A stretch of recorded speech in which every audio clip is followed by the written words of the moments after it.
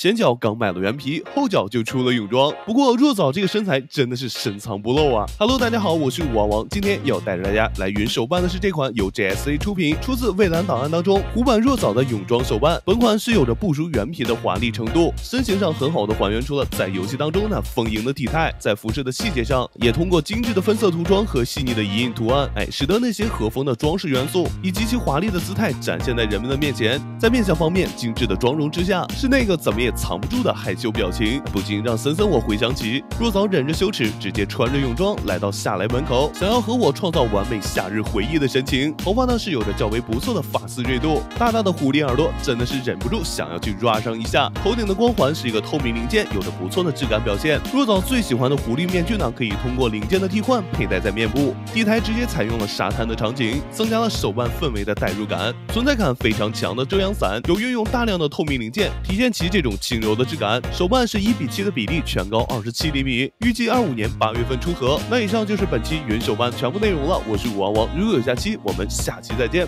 拜拜。